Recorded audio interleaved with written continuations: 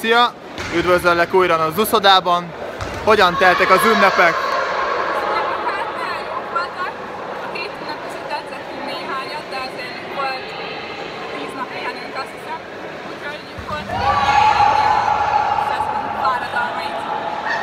Hogy készültetek a héten a UVS elleni derbire?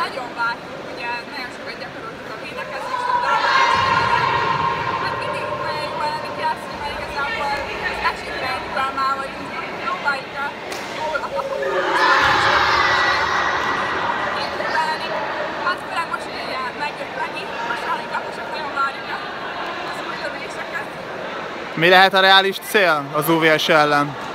Hát igazából egy konkrét célunk nincsen, mondom csak annyi, hogy minél kevesebb gólt kapjunk.